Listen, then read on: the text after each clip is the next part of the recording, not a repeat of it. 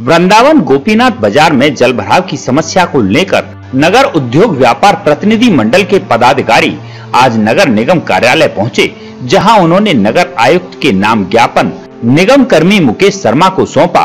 वृंदावन के प्रमुख गोपीनाथ बाज़ार में पिछले काफ़ी समय से जल भराव की समस्या बनी हुई है, जबकि ये क्षेत्र कई मंदिरों के मुख्य आवागमन का मार्ग है। क्षेत्र में आए दिन होने वाले जल भराव की शिकायत क्षेत्रीय निवासी और दुकानदार कई बार नगर निगम के अधिकारियों से कर चुके हैं, लेकिन इसके बावजूद भी कोई समाधान नहीं हो सका।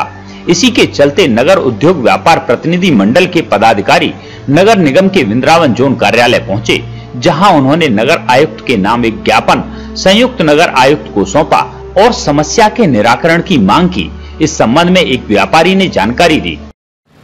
हमने हमारे वृंदावन के गोपीनाथ बाज़ार, जो कि सबसे महत्वपूर्ण बाज़ार है, यहाँ पर धार्मिक और ऐतिहासिक दृष्टि से जो प्राचीन मंदिर और मठ हैं, यमुना है, उसका जाने का प्रमुख मार्ग है, गोपीनाथ बाज़ार और रंगजी मंदिर रोड। यहाँ पर बिना बारिश के भी जल नाली का जो है, वो सड़क पे आ जाता है और यात्रियों को आने जाने में भारी असुविधा का सामना करना पड़ता है। अभी बरसात आने वाली है। यहाँ पर जो जल भराव की समस्या है, वो इतनी ज़बरदस्त है कि दुकानों में पानी घुस जाता है, जिससे दुकानदारों का लाखों लाखों रुपए का नुकसान होता है। नगर निगम विशेष ध्यान नहीं दे पा रहा है। हमने यहाँ पर ज्ञापन दे करके नगर निगम से मांग की है कि जो गोविंद देव मंदिर के नीचे का नाला है, उसकी तली झाड़ सफ़ाई की जाए।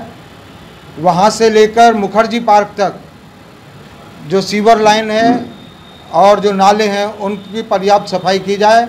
मुखर्जी लाइन, मुखर्जी, लक्ष्मण शहीद से और मुखर्जी पार्क तक नई सीवर लाइन डाल करके और उस पानी को निकासी की व्यवस्था की जाए। बारिश के समय में जनरेटर चला करके पानी को खींचने की व्यवस्था की जाए। यही हम सब लोगों की मांग है, जिससे कि व्यापारी परेशान ना हो सके। जो लक्ष्य चुना था, समझ आने लगा है।